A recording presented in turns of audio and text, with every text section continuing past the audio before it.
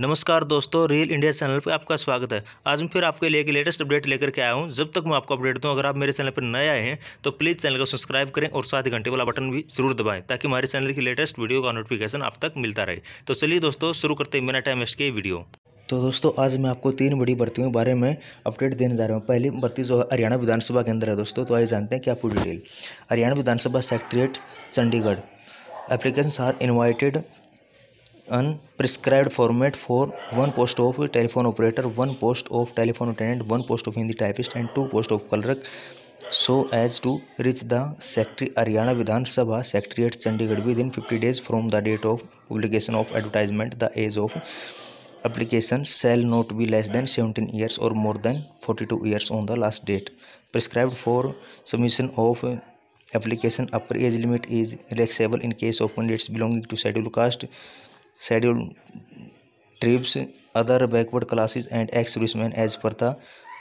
rules government instruction request of qualification experience other conditions and prescribe format में भी download from the official website W W dot Haryana assembly dot G O V dot in तो दोस्तों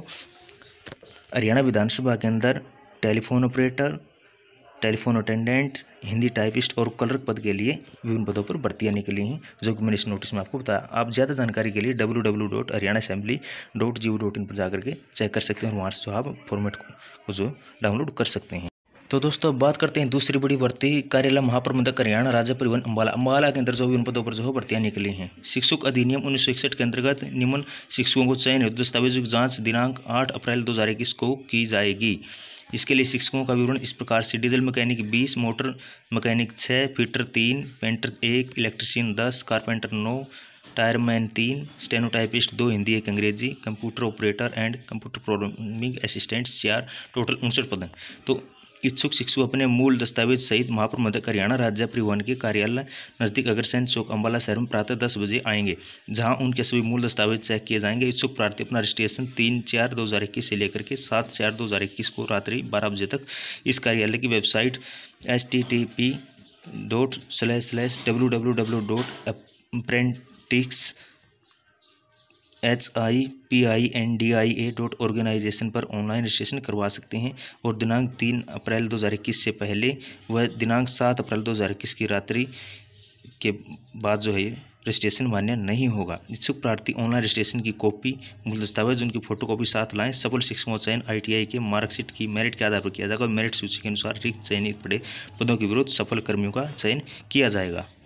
तो दोस्तों अब बात करते हैं तीसरी बड़ी भर्ती ई डब्ल्यू एस से फार्मासिस्ट की भर्ती के मामले में प्रदेश सरकार को नोटिस चंडीगढ़ हरियाणा सरकार के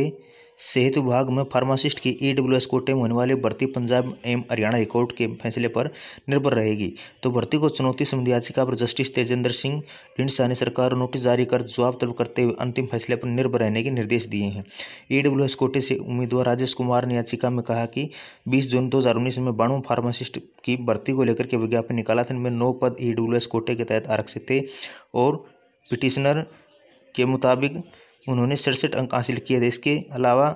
सामाजिक आर्थिक मापदंड मुताबिक आठ अन्य अंकों का भी वह अख्तार था उसके कुल अंक पचहत्तर बनते थे उन्नीस मार्च को कमीशन की तरफ से जारी नतीजे से ई e की कट ऑफ चौहत्तर निर्धारित की गई